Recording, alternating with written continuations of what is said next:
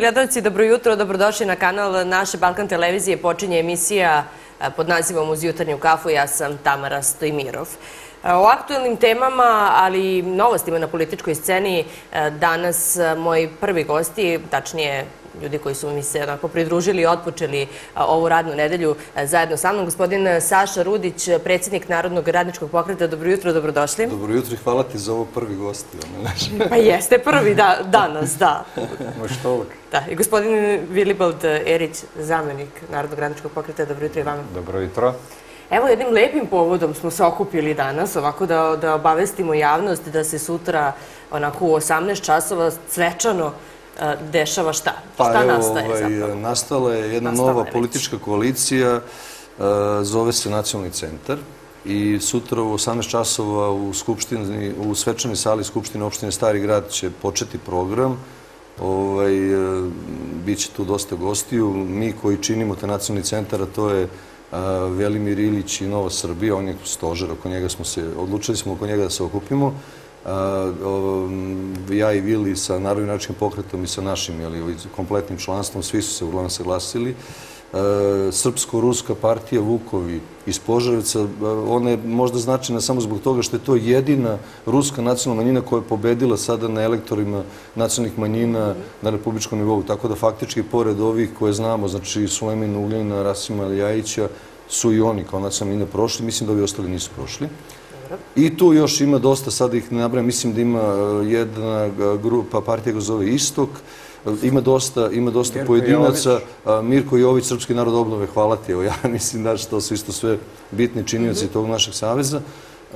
Tu je, ovaj, tu je dosta, ovaj, dosta činilaca javnog života ovaj, Srbije, grupa građana koji nemaju sad neko ime, ovaj, ali su poznati ti, ajde kažem ti nosioci nosioci tih lista i tako dalje i tako dalje. Da ih sad sve ne bi nabrajim i dosta odlično mnogo vremena, u svakom slučaju to je, to je eto neka novost i to je kao, ajde sad kažemo, ako imamo ovaj blok oko Aleksandra Vučića, njih 19-18 koliko ih ima, ovaj, ako imamo ovaj Savez za Srbiju gde, ne znam, sad stvarno koliko ima činilaca, sigurno ih ima desetak. Mi znamo za pet ili šest, ovaj, ono iz prve ruke pokreti, da. jeste, da, i- da, iz, da izguramo. Mi smo kao eto neki treći blok koji je... Ima i ovaj, Saša mi- mi- Janković, građanski blok 381. Pa čekaj, zar on nije, zar on nije sa Savezom za Srbiju? Nije. Nije. A, pa nisam to znao. Otkud to da nije? on, on pripada. Odavno nije. Stvarno? Ma da, odavno. On nije ni htio da uđe, jer pregovarao i tako dalje. Mi smo onaj nevidljivi blok. blok. Znači, e, Mi smo ovo je- nesvrstani. kao. Da, da. Nesvrstani. O, ovi vidljivi blok, ovaj opozicioni je na neki način i Vučićev blok i tako da kažem prozapadni blok, znači isti im je gospodar iz istog centra dobiju Prokriminalni, slobodno tako, možda kažeš. Da. tako da će to biti e, sistem, znači kod tih vidljivih blokova Saši Kurta uzješe Murta. Znači ništa se novo neće desiti. Mi smo se okupili zato što uopšte nemamo jako malu medijsku ovaj, prisutnost imamo u javnosti, nijednoj, tako da kažem, nacionalnoj frekvenciji, u, u nacionalnim novinama i tako dalje, ne možemo da se pojavimo. Ne, ali vidi, stvorili su Zato što postoji blokada, izvini.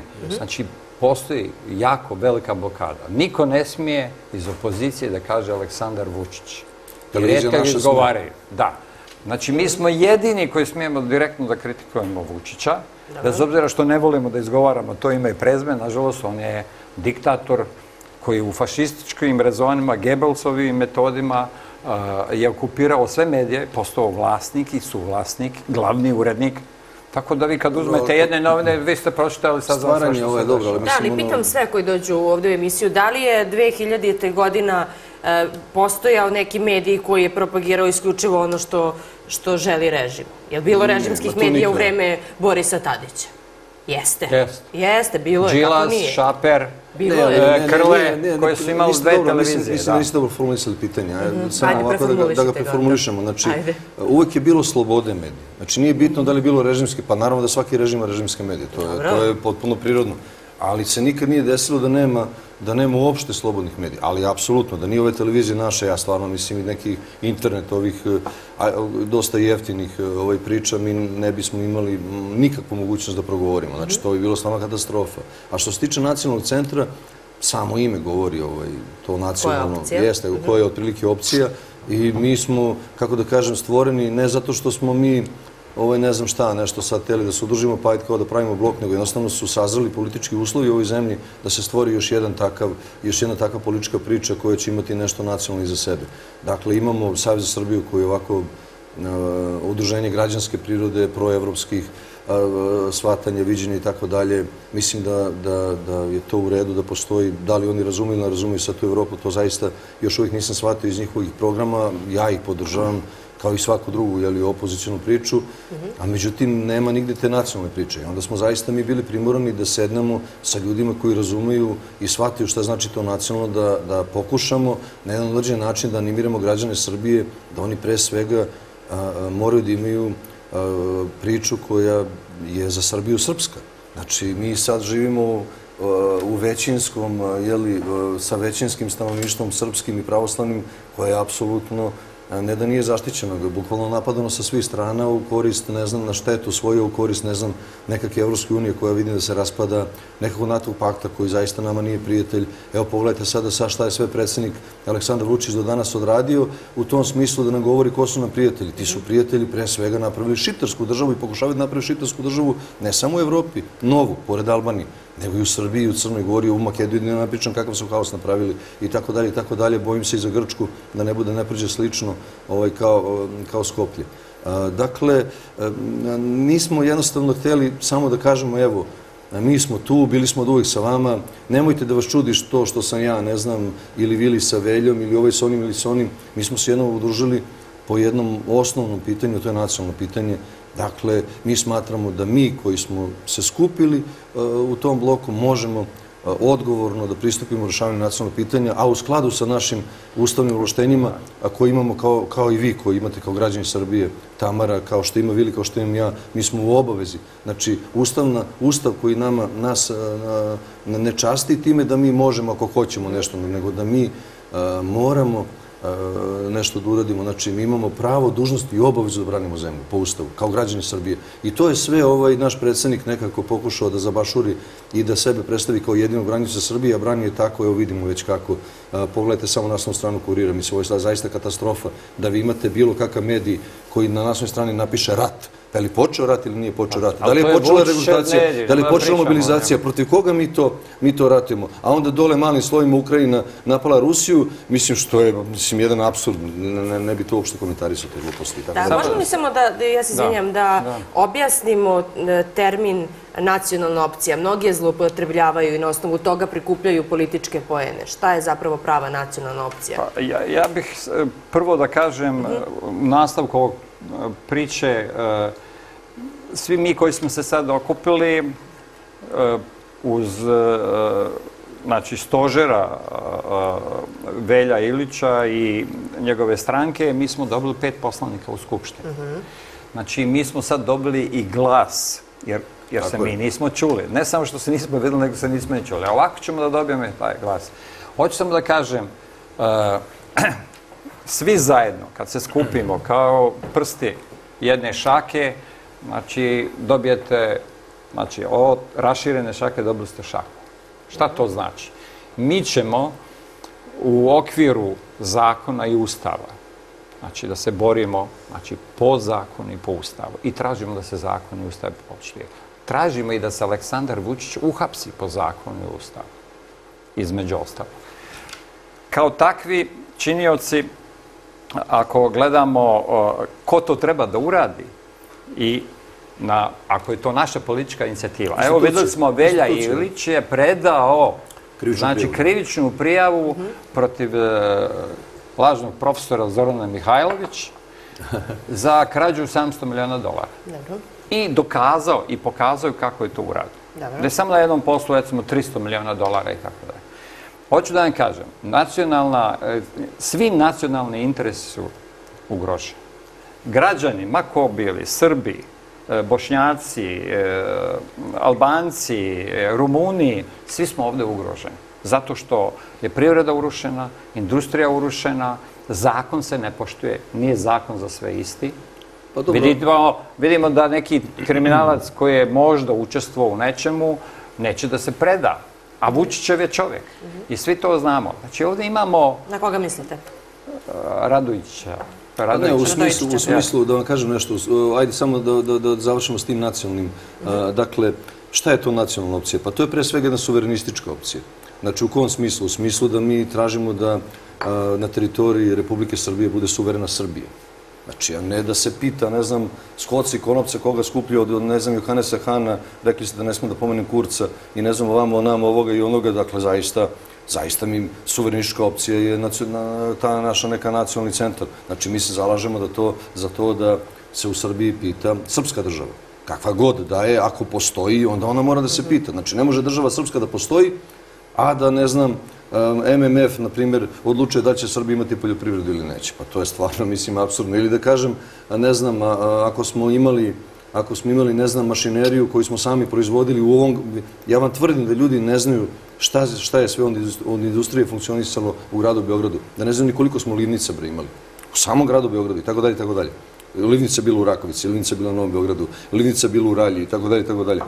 To, to su osnovni preduslovi za postojanje industrijske proizvodnje i tako dalje koji su uništene. Dakle, suverenistička smo jedna priča, to je ta nacionalna znači priča. Ne, nemojte da idete odmah na desnu, na desnu stranu kao što svi vole odmah. Čim je neko nacionalni, kažu on je odmah ne nacionalan nego nacista ili je ne znam ovo ili ne znam ono, od toga neće biti ništa. Ovo što Vili priča sada, sad ulazimo već u, u neki dijalog koji traje ovaj, evo već dva dana gde predsjednik države kaže da je neko ubio Olivera Ivanovića ili nije. On ne može da zna da je neko ubio ili da nije, osim ako nije deo te priče. Znači, moj moj savjet da ćuti i da se ne glupira, jer samo otežava tim ljudima, ovaj, čini im situaciju gorom. I on nije Luj 14. da može da zna šta je Srbija kriva ili nije kriva. Dakle, dakle postoje institucije, on, on, on, on se glupira i lupeta samo zato što je zabranio institucijama da rade svoj posao. A, mi imamo, na primjer, sada situaciju gdje je, na primjer, isti taj predsjednik rešava ubistvo Ćuruvije ili ne znam već koga sve, najvećih dilera droge i tako dalje, gdje se ljudima obezbeđivalo prisustvo. Obezbeđivalo prisustvo, to se inače zove pritvor u, u, u tom pravnom jeli, language u jeziku, ovo je obezbeđivalo prisustvo, tako što je držao u CZ-u recimo po godinu, dve, tri, čak i, i, i, i ne znam, četiri godine. Dobro. Šta to znači? Pa zašto ovaj ne može da, da bude priveden da bi mu se obezbedilo prisustvo da se pojavlja na sudu i da se kaže ili kriv ili nije kriv? Setite se samo za Olivera Ivanovića upravo oko te stvari oko koje se priča šta je samo televizija Pink radila što smo je Vili doneli i pustili ovde na vašoj Jeste, prvi televiziji. put, tako je. Tek kad smo se pa i tako dalje i tako dalje. Dakle, strašna stvar. E, U tom celom kontekstu šta je nacionalno i šta nije nacionalno, možemo da raspravljamo recimo na primjer i o Borku Stefanoviću. Znate sada, sad imate ljude koji su Srbi koji kažu koga šiša, ne znam, ja ga ne volim, on je ne znam za ovu opciju, ovo ono, neka su ga prebili. Pa zamislite vi to sada. Devet ljudi sa fantomkama i sa bezopalicama ne može da uđe na neki skup a da nije prethodno organizovan.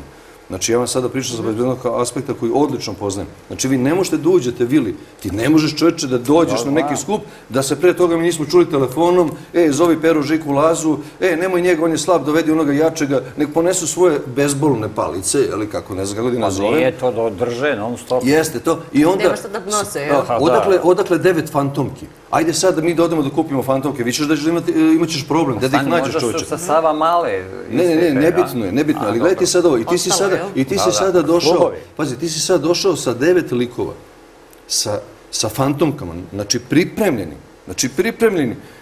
Policije nije bilo. Znači, policije nije bilo, jako je skup prijavljen tu, dakle, ja sad sumnjam da nisu možda oni bili u nekom sad dejstvu i tako dalje. Čovek je do krvi pretučen. To što ja nisam fan Borka Stefanovića, to ne znači... opet Ne, ne, ali to ne znači da on nema neka svoje ustavne i građanska prava bre u ovoj zemlji. I da se to, i da predsjednik izjavi te noći ili sutra dan, ovaj, uh, zna, uhapšena su neka trojica sa nekim inicijalima Z, F, R, S. I, Bor, I. Borka je lakše ozleđen. Pa lakše ozleđen. Ne znam, mislim, mogla mu je To glava, mislim, telesna je, povreda. je. tako Da, bit će I sad šta se dešava, i sad šta se dešava kao, kao dalje, a, a, a, odmah sutra dan ide napad na Vuke Jeremića da je ne znam tamo negde počinio neko krivično delo, niti je podignuta, a, pa ti znaš, Vili, da ja nisam fan Vuke Jeremića, niti je podignuta optužnica protiv čovjeka u Sjedinim američkim državama. Odakle tebi pravo kao predsjedniku države i kao, pre svega kao pravniku? Pa ti, druže, sa tom diplomom prava fakulteta, ako takav i na takav način interpretiraš svoje znanje, možeš da obrišeš zajednicu. Mislim, to ti je moj savjet, jer to zaista ničemu ne služi. Umjesto da reprezentuješ taj fakultet u najboljem svetlu, ti ga reprezentuješ tako i na takav način da je svako ko je završio taj fakultet da ga je sramota zato što si ga i ti završio. Ma on je- pa znaš to? on Mislim, je evo, po Ja sam pao malo u Ajde. vatru, mislim, stvarno mislim da, da to nije u redu. Dobro, da čujemo vas. Ne, zato što si ti to studirao, ali e, principijalno on je dobro naučio dokažite. Znači, Mhm. sve što radi u životu, dokaži me.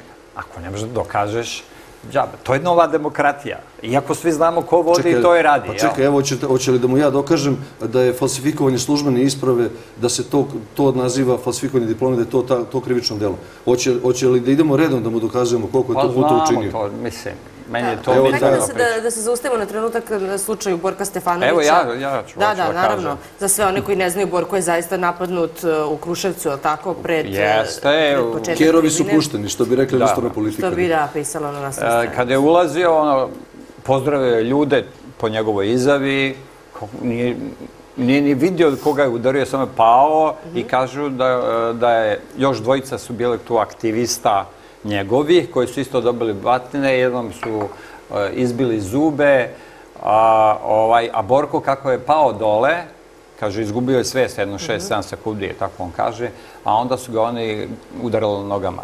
Dobro. Ajde, To je ono što sam ja čuo i on je rekao da je to pokušaj ubistva. On je rekao to. Dobro. Prema tome, mi vidimo, ja sam još 2015. nagovestio eskadrone smrti. Znači, eskadrone smrti, da se formiraju i prave unutar SNS-a, znači po nalogu Aleksandra Vučića. Znači, kogod to kaže i ne vidi sad, čak sam imao jedan demant, e, jedan poznati novinar koji je jako ugrožen, ovaj, je demantovao da Aleksandar Vučić ima pojma o tome i da on nije za to. O- on je dao izjavu recimo danas, a sutra dan se desio ovaj slučaj sa Borom. Znači, ovo je vreme Kaži Milovan kao... Brkić slobodno, da znamo dobro, čemu se dobro. nema to. Ne, eto, ne znam, spominjem ime čoveku. Ovaj, ovo je kao paljenje rajstaga. Znači, do tog paljenja prolazi se fino pritisak, pa oni prvo šamaraju, pa udaraju, pa onda razbijaju glave, onda ubijaju, onda uvedu giljotinu koja ide i, ili ladno Ne, ali da što je interesantno, pa pre nekoliko dana, ne znam da ste pratili Tamara, ovaj, šta verujem da jeste, pošto je vama to stvarno profesija, da malo, ovaj, malo, malo što kažemo, analizirate ta, to političko stanje u našoj zemlji, i pogotovo preko štampe. Ovaj, ne znam ste pratili da je malte ne a, a, a, Aleksandar Vučić u svom, ja mislim da on je vlasnik informera i kurira, ja sad, to sad ne mogu da pratim. Kurir je kupio za 25 miliona. Zamisli tu nepristojnu pondu. Novine koje ne vrede ni milion evra da prodaš za 25. Šta da kažemo, šta da kažemo za Kopernikus onda. Ali vidi ovo sad... Da, na primjer, to ćemo da dođemo, ovaj, ja jel, čekam. I sad, pazite sad, sad ovaj naslovna strana informera kaže Haradine ruši Vučića u Srbiji. Znači, faktički svako ko je protiv Vučića, on će biti izjednačen sa Ramušem Haradinajem.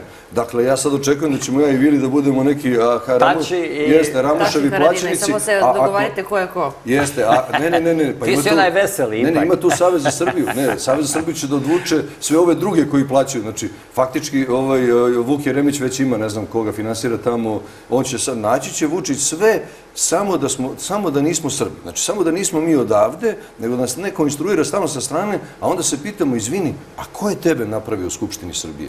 Ko je taj koji iz radikalne stranke tebe pretvorio u SNS?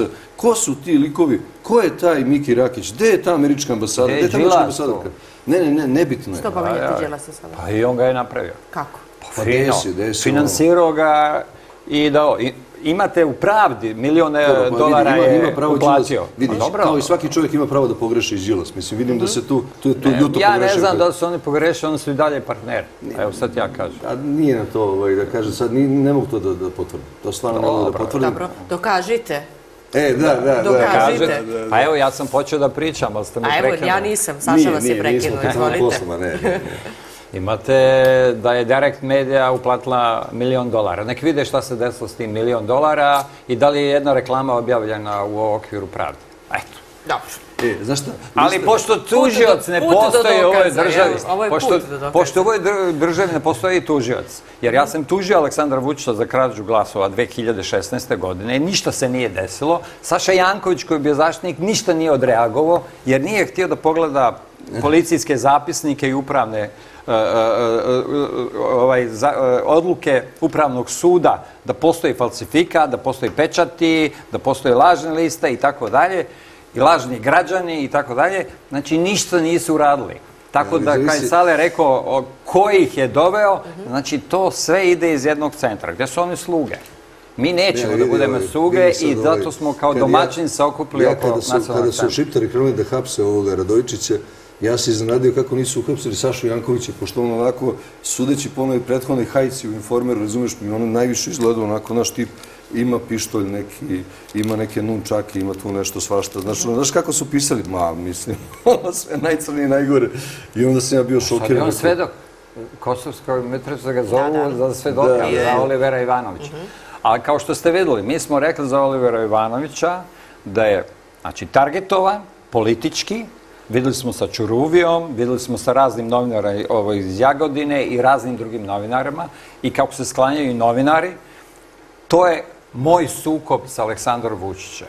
Znači, profesionalni sukob gdje ti uzmeš i vodiš medije koje su jedini glas kritični javnosti, gdje jedino možete da kontrolišete državu na taj način. Vi ste sve dali u, ovaj, kroz medija, to je ovaj, skupio si i praviš copy-paste. Ovaj, Napraviš saopštenje ili svaki dan te gledaju ili pričaju. Kad si pomenuo to je... Kad si pomenuo krivičnu prijevu Velimira Ilića ovaj, vezano za ovu pljačku za ovu pljačku ovaj, državnog budžeta Srbije preko Zorane Mihajlović i onoga, kako zove onaj, onaj lik, Drobnjak? Drobnjak, Đuričku... To i to.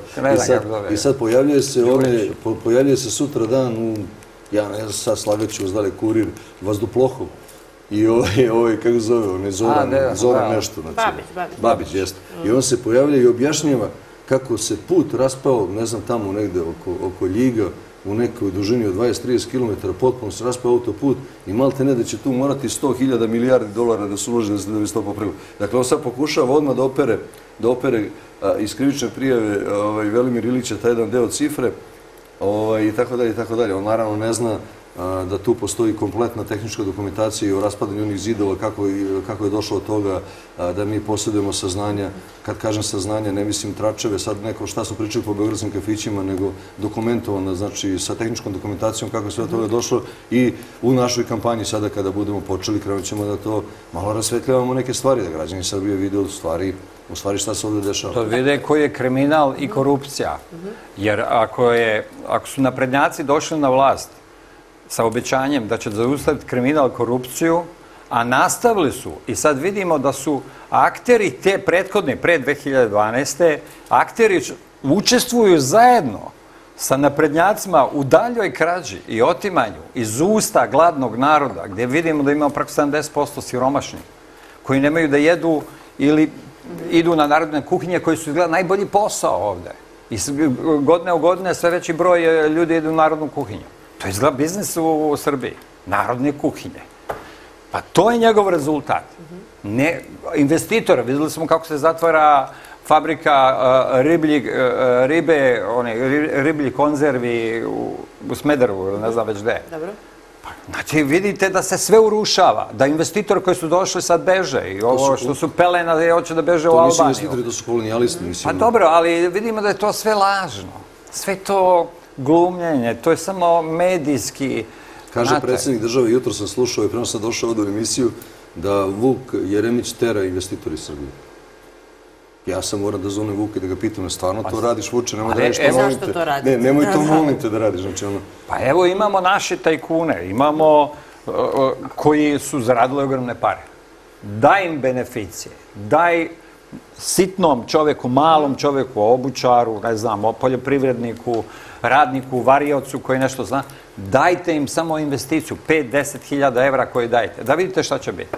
Svi će napraviti radnje, svi će pokrenuti neke stvari i tako zapravo ima interes za dovođenje stranih investitora i za tolike subvencije? Pa a gdje to ima u svetu? Ajde, pa, recite mi, to je korporativni fašizam. Ja znam da kažem, vas uguše, uguše da vi svoju proizvodnju nemate, to je privredu, industriju, ono, a onda vam oni donesu svoju robu. Čekaj, na primjer ovako, Vili, zamisli ovaj scenarij. Ti si strani investitor, ja sam vlada Republike Srbije. Ja tebi dam 10.000... Ušto se uzmem od Vučića lovu. E, Pa nema veze, ali ja tebi, ne, ne, ja tebi dam 10.000 evra po radniku, tako? Da. Ti meni vratiš pet. Da, pa to je Jel, normalno. jel može to da bude interes? Tako je. A može. Pa ja sam... Evo recimo sam, pa evo pogledajte sad ovo kriču, Yes. pa pogledajte ovo kriču privu Ve- Velje Ilića. Ona je veoma interesantna meni. Znači ja sam stvarno čitao odgovore, mi smo pročitali odgovore tužilaštva. Pa vi ne možete, ja ništa nepismenije u životu nisam pročitao. Potpuno nemoćni da odgovore na, na, na, na, ne na, na pitanje to. Znači uz Ali dokaze... ipak postupak je zaustavljen, je li tako? Nije, nije, ne, ne, ne, ne, to će sad da se razlači. Pa ne mogu da ga zaustavim Ne, zbog ne, on je- neće Ali- ga pokrenuti. Ali samo da kažem u čemu, šta je suština te krivične prijeve. Dobro, izvolite. Suština je krivične prijeve te da je sklopljen posao po odobrenju vlade Republike Srbije, a, gde je a, vršilac radova jedna firma koju pokriva jedna banka. I to je dogovoreno za 500 miliona. Zorana Mihajlović povećava cifru, ničim izazvana, bez ikakvog objašnjenja, na 800 miliona. Pazite, to, to, to, to, to, to nije normalno. I sad, pazite, Kleptomanstvo. a onda na pitanje zašto je to uradila proglašava ceo posao državnom tajnom. Dobro. Znači, e, tim tempom, ako oni nastavljaju da pljačkaju, i sad mi sad, recimo aprilu, mart, ma, tamo, maju, kad izađemo na ove izbore sledeće godine, koje će biti sigurno, ovaj, kažem, ovaj, mi izlazimo sada sa sredstvima koje smo prikupili od građana, sad, ne znam, ovaj založio stan, Vili, ja, ne znam, tamo, ušli s tim, pa šta nam Bog da, a on ulazi sa milijardu koju je pokrao, na primjer. Да не причамо сада како број гласови. Значи не е Тоа... само Зорана, него значи цела екипа до Вучича. А не, не, так? не, види Зорана краде ту. Овај таму неко краде таму. А ја сад кажам не знам šta ради Јана Брнабиć док они сви краду. Овој валиден чува стражу да најде полиција, ал на пример како претседник владе. Али јас се сада питам другу една ствар. Која е она, како претседник владе, горуче српско питање решило до сега? Ili ga postavila na noge ili na pravi način. Pogledajte šta oni rade. Pogledajte sada, na primjer, situaciju, ovaj, ne, ne, ne, mislim da neću ga pomenem ovog Ivica Dačića, ali stvarno moram, ovaj, debelog, ne vredi. Znači, ovaj, Da ne bude izuzetak, da ne napravite u jednoj emisiji. ne, ne, pogledajte sada, on, o, o, o, imamo ovakvu situaciju, znači, veoma interesantno. On kao pre, o, ministar inostranih poslova nama saopštava da postoji zemlja za koju nikad nismo čuli da postoji. Ja stvarno nikad nisam čuo za dve, tri zemlje koje je pomenuo. Nikad. Dobro. Jesam čuo za Granadu i to zbog invazije Sjedinje američke država gde su potrebili dva nosača aviona, gde ima više vojnika na ta dva nosača aviona nego koliko je bilo stanovnika Granade, koje je tamo branilo 8 ili 12 kubanskih, ne znam, boraca. Zato znam, zato što mi je to bila profesija, pa sam to ispitivao sa tog. Ovaj. I inače tamo su mi se udavile sve foke prilikom te invazije. To je, mislim, katastrofa za, za, američke države bilo. Ali ovaj, i zato znam za Granadu. I on kaže sada, oni su povukli priznanje Kosova. Za to vreme, za to vreme, ne pošalje notu a, za zastavu Kosova, on sada nas ubeđuje kako se on bori da se ne prizna Kosovo na istaknutu zastavu a, te neke, ja ne znam, neću da kažem države Kosovo, zašto, to ne postoji, ovaj, te nekakve kvazi države, on ovaj, ne reaguje. Pa mislite li kako je ta dvoličnost i a, kakav je on onda diplomat? O čemu se tu zaista radi? Šta su oni sve kao diplomati uradili? A onda vidimo šta je radio Veljko Odalović kao sekretar, šta je radio ovaj, šta je, po kom principu se postavljaju ambasadori. Postavlja se pitanje pljačke i krađe imovine u vidu slika umetničkih po svim ambasadama. Šta se dešavalo u Parizu, u Narodnom ambasadi i tako dalje, i tako dalje, tako dalje. I onda dolazimo do zaključka da oni namerno urušavaju institucije, da je njima to posao i zadatak i da su izgleda plaćeni po učinku. Što god više institucije uruš- uruše, oni su sve bogatiji i bogatiji. Za to vreme, a, mi za to vreme imamo zaista jednu smešnu situaciju da danas ne, niste, nemate te novine, da danas recimo predsjednik države izjavi i kaže Srbija nije ovo, Srbija nije ono. Pa mislim, te tvoje izjave su stvarno već postale šarmantne. Mislim, zaista, kad ti kažeš, na primjer, kao predsjednik države sada, on je kriv ili nije kriv, nemaš pravo, pre čovječe, to da radiš. Ti Ja- možeš na osnovu samo- sudske pravosnažne odluke da kažeš Tamara je kriv. Evo, recimo, bilo suđenje protiv tebe, doneta prvostepena presuda, ti imaš pravo da se žališ, u drugom stepenu si već ono u problemu, imaš još ti ostao samo, znači, apelacijni sud kao zadnja neka šansa da, ne bude, da budeš nevina i onda on kaže, ne, ona je kriva, ja kažem, dobro, drugi stepen je, ajde, kažeš, ali ne bi trebao ipak kao predsjednik države. Ne, protiv tebe nije podignuta optužnica kao protiv građana Srbije. I ti njega kao predsjednik. Ti kao predsjednik države šta. građanina Srbije i e, kao pravnik prezunkciju nevinosti. Znači ono što, znači bolje e, e, e, sto krivih na slobodi nego jedna nevina u zatvoru. Ne, kod tebe bolje svi u zatvoru, a ovaj kriminalci na slobodi. samo nek su Obavesti samo- narod da država ne postoji, da postoji samo ja. Aleksandar Vučić. Raspriča se ja da Samo da kažem komentar malo za Pariz, ovaj, pošto Kažite. nismo imali prilike da tu budemo. Tako je. Ovaj, znači, unazad godinama, od 2012. kako su naprednjaci došli, niko nije išao na te godišnjice e, proslava, znači oslobođenja od nacizma, znači u drugom svjetskom ratu i ovo u prvom svjetskom ratu, u tom ratu svjetskom protiv Austro-Ugarske. Znači, nisu išli predsjednici naši na to. Ni predsjednik, ni predsjednik vlade, ni države i tako dalje. Otkud sad od jedan put da sad, baš sad treba da idu? Ali imate neko objašnjenje? Pa da vam kažem, znači 2012. ja sam e, e, Ministarstvu kulture savjetovao da uradimo i neki veliki film i da potenciramo taj 2014. to početak svjetskog rata kao i završetak svjetskog rata, da to radimo nekim filmskim projektima i tako dalje. Znači, o, film Lazar Istovsko.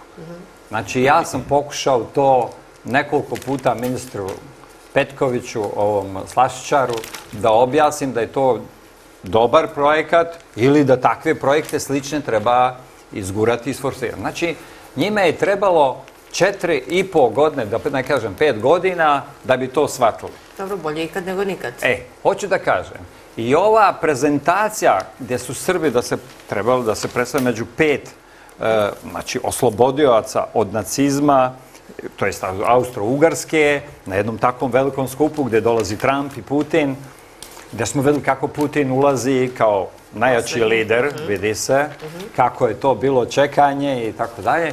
I umjesto on da tu bude i prvi, da bude i da mu ga Putin prvog pozdravi, šta se desilo? Da li biste vi ostali onda na, na takvom skupu gdje ste nekom gledalištu? Ne gdje su zvanice, nego tamo sa strane. Sa nekim stubom, ali te ne pored sebe. Šta je trebalo naš predsjednik da uradi? Pa, trebao je fino da ustane i da ode. Nije morao ništa ni da kaže, ni da uradi. Samo je trebao Jel mogla jednostavno... ta situacija da se predupredi? Kad je, kad je Putin ušao, kad je to završena priča, onda je trebao da izađe. Ne da je mogla, nego je morala da se predupredi Tamara.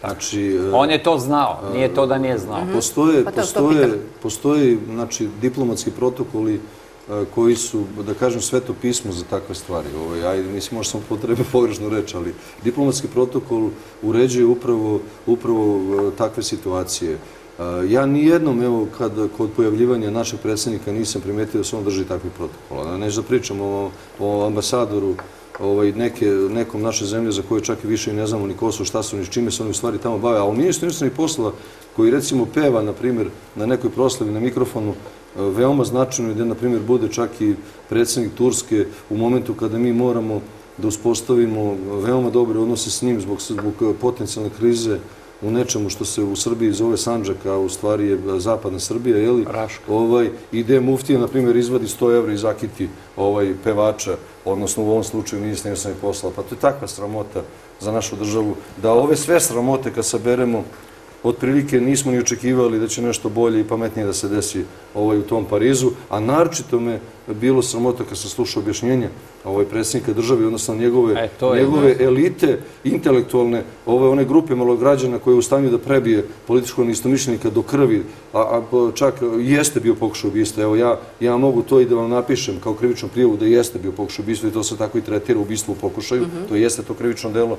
To što ga nisu izvršili i što ih je nešto omilo da to završe do kraja, a to su i njima olakšavajuće okolnosti kasnije da ne bi 40 godina nego 20-30 godina zatvora, a za tog organizatora svakako ide 40 godina zatvora, ma ko bio i ma ko se uspostavio. Da, jeste li vidjeli, gospodine Rudiću, na koji način je to predstavljeno javnosti? Ne, Napadači su uhapšeni A i to je, da, da, i to je razlika između ove i Zato što se prošle prepao vlasti Vučić, i onda se... zato što se Vučić prepao tog čina gdje pokazuje da on ne kontroliše ni te snage svoje. Dobro. Znači, on ništa ne kontroliše. slučaju Oliver sve, znači, pevaljke te vrste Ivi- Ivice Dačića i da vidimo šta se dešava kako, to možda vidite u novinama svakim, kao kritičku reč. To je, to je njihova kritička, to je Vučićeva kritička riječ koju plasira kroz novine, reality taj. A da saznate nešto šta je zvanično, šta pregovaraju, šta su potpisali i tako to su dalje. državne Tako tajne, molim Da, vas. to su sve državne tajne. Da li je državna treba tajna da bude e, e, sporazum o povratku iz Dublina, o povratku emigranata, milijon i dvesta hiljada emigranata u Srbiju, koji nisu ni prošli kroz Srbiju? Pa izvinjavam se, prvo, predsjednik vlade laže kad se sazna za tako nešto, ona kaže nisam, a pre toga kaže parafirala sam.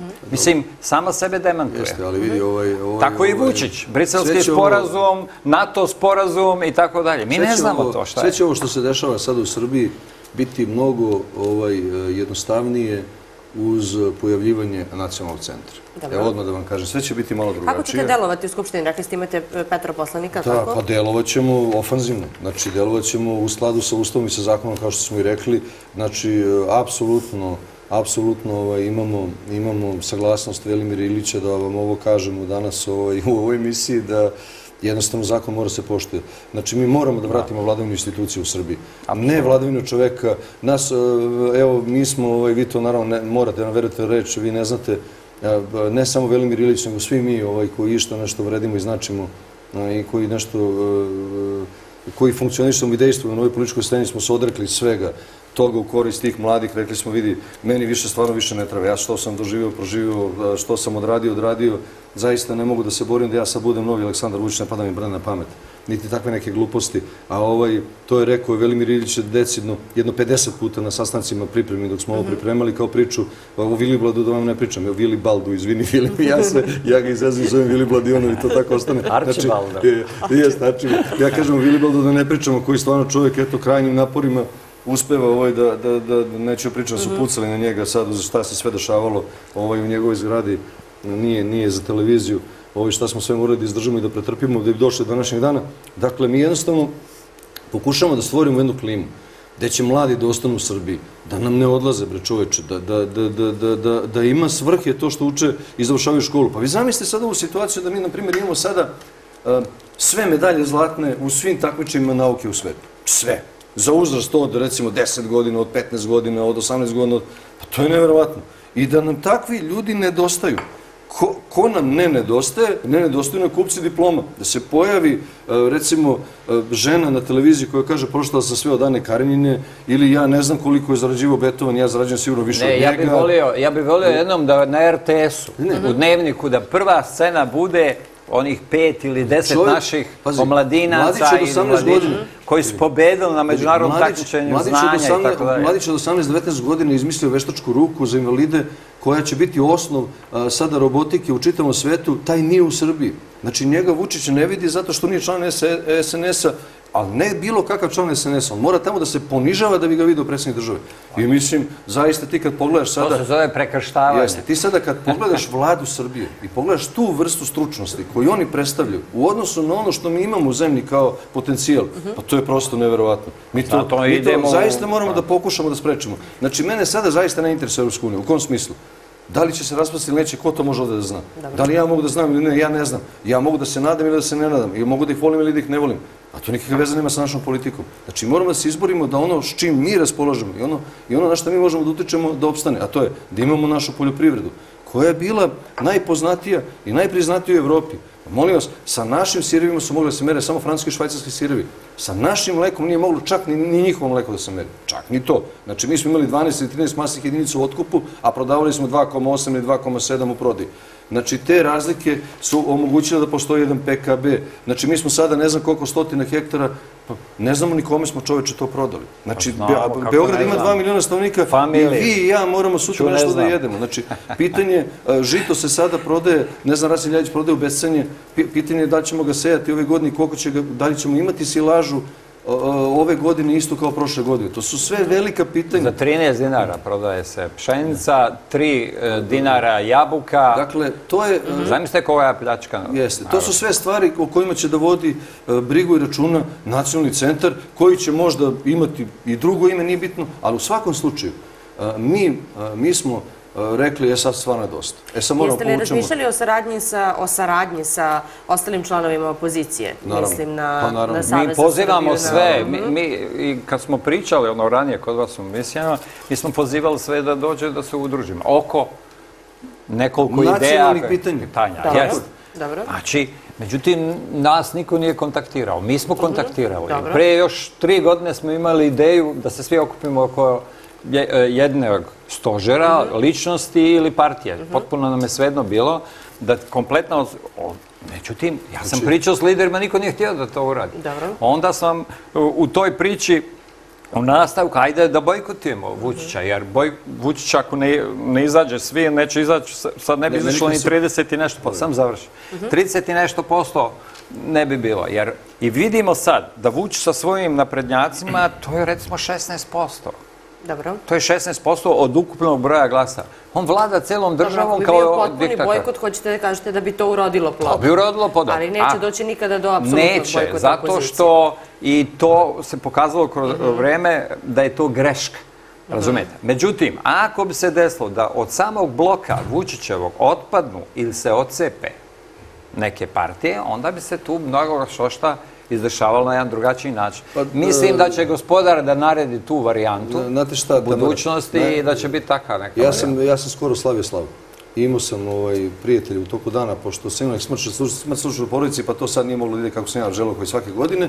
I svi su mi postavili jedno pitanje, otkud Velja Ilić? Znaš ono, kao, otkud ti Velja Ilić, pošto stvarno smo... Ajte i ja ću ko sva rodbina, otkud Velja Ilić? E, pa evo, ovaj, e, mi smo počeli od, e, da razmišljamo od toga, u stvari, ajde da e, pustimo te ideološke stvari ovaj, na stranu, ajde da vidimo ko je taj čovjek, šta je on učinio, koliko je on uradio u Srbiji, da li nešto se angažovao, nije angažovao, mislim, i ja sam onda poražen bio ovaj, tim njegovim činjenjem.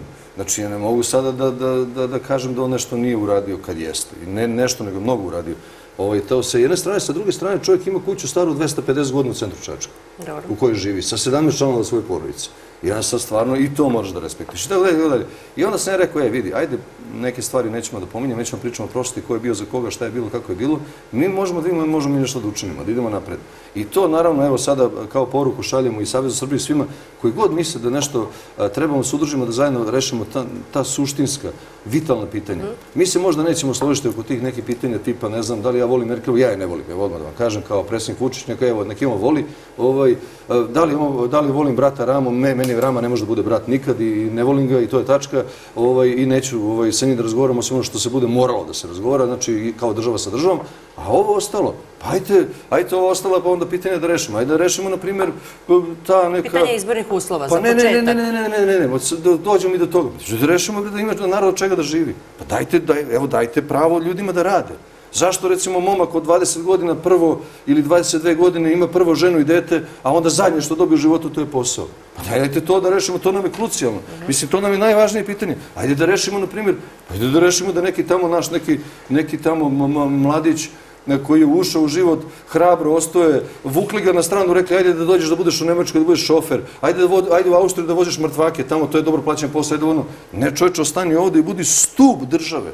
Budi stup i nosilac države. Ajde da napravimo instituciju, na primjer, u kojoj će se dolaziti konkursom. A ne zato što mene neko poznaje, ja sam političar, pa ću, znate, da okrenem telefon, pa ću pozovem vašeg direktora i kažem, jaoj, molim vas, evo, ja sam bio kod vas u znate, ja sam ona iz Zorane, možete mi zaposliti imenu devojku da radi kod vas tamo, pa neka bar kuva kafe, nešto, bilo šta.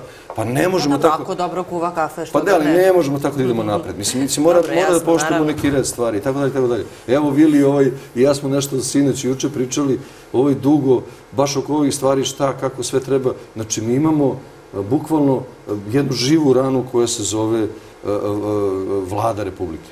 Znači, pogledajte skupštinu i glasanje. Znate, mislim, e, predsjednik Skupštine je je došla sada žena, žene u pitanju, je došla je sada u fazu ovaj, da kaže, ovaj, šta, ne, to neću da čujem, ovo ne možete da pričate. Izvinite, šta je suština e, biti član Skupštine Narodne Republike Srbije? Nego da kažeš ono zašto te narod tamo poslao. Pa ne možete vi kao predsjednik Skupštine sada da kažete, mati, oj, oduzimanje reči, kao, to je strašno. E sad, ovo što je još strašnije, to je da se zbog reči prebija a izgleda i ubija. E sad ne znam kako ćemo to da rešimo, mislim morat ćemo da damo stvarno sve od sebe. Ja sam rekao šta treba da srećem na početku. Rekao sam javna reč znači prenošenje javne reći, to znači, To je- na- to je RTS. Evo kako vi ovo komentarišete? Samo, samo da završim misao za RTS.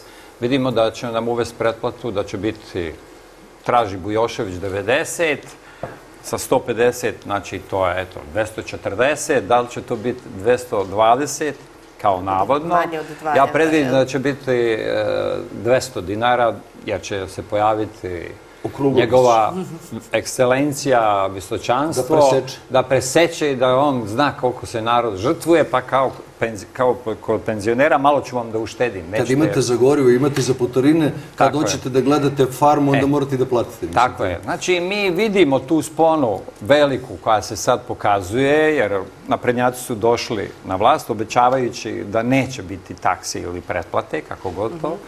Sad vidimo da je taksa još raste. Znači, nije im dovoljno što su pokrali tamo programski po filmovima, po ovom, po onom. Ili, ali oni bukvalno nego- obećavaju kuli gradove. Oni bukvalno obećavaju kuli Dobro, gradove. obećavaju, ali da li izvrše ili ne izvrše, to je drugo. Znači, sa ime, kao što vidite što imamo sa Kopernikusom, znači gdje država kupuje nešto što vredi 200 miliona, zar je vrednije kupiti tu mrežu, a ne kupiti PKB?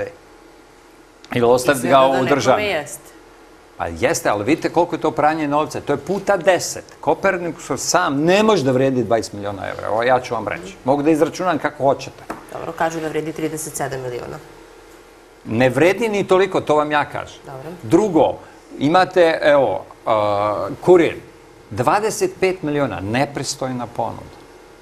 Znači, ako ste to mogu kupiti za milion ili dva miliona, kompletno, Adria Mediju, znači gdje je kurir samo jedan od činilaca, pa izvinite, pa ne, to se vrlo lako računa koliko vredi. Znate, pogledajte koliko je zaradio, kako, na koji način i vidite da tu nema para.